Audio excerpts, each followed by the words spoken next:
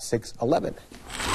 Heading outside, getting a live look from our Jamie Casino traffic tracker. He's on 17 right now, traveling north, and you're seeing him just about to head over the Talmadge Bridge. It's nice and quiet over there. No issues that we are seeing at this time, so that's great news. We'll go right to our maps and uh, just take an overall look here and um, focus in here on 16 and just notice how nice and green and clear it is. Everyone should enjoy that.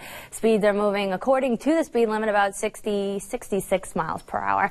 Uh, your 16 eastbound live drive times, they show everything everything looks great. And again, we can tell because those little cars are just about as far at, over to the green as possible. So great, great news right there. Enjoy it because it's going to change later in this morning.